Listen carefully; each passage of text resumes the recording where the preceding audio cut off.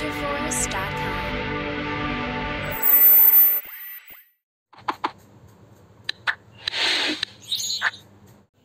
students, welcome to Vij Chem YouTube channel. In the morning already I have told you today result is about to be released.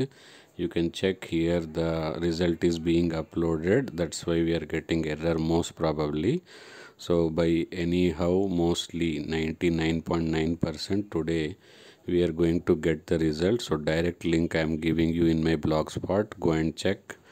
Just search vij chem blogspot iit JEE result. And you will get the direct link so that you can get your result. All the best and do like this video and share it to your friends and join my telegram group. Thank you. Bye bye. All the best